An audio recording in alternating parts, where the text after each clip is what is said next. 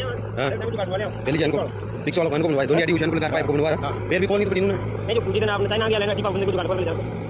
दोनों पे रहे हो दोनों आईडी की गाड़ी रखन प्लेट होकर ये गाड़ी तो पिक्स ले जाए ना। जो नहीं छूट जाए लाइन के कन। हाँ। आया बहुत रोड